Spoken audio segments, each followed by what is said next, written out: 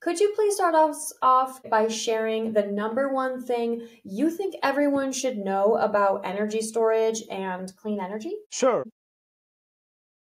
So I would love that people realize two things. First, that batteries decay over time, and that's physics. We can't do anything about it. But we don't have to throw away a completely full and valid battery because the lithium that is inside the cells decayed. Especially if you knew that these batteries that you throw away would end up in the landfill and less than 5% are recycled. Is that because battery recycling is really hard? It's not the hard part of it, but rather the financial viability of it.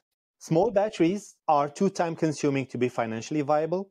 So even if they are collected, 60 to 70% to these collected batteries to be recycled end up being burnt because they are too time consuming for the recycling company to make money out of them.